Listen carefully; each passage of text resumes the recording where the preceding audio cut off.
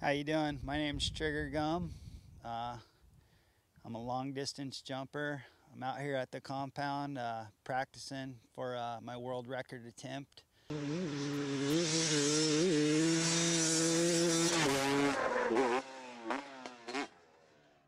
you overshoot this one, your wheels are blowing out and you're probably you're gonna take a good one on the chin, maybe even die.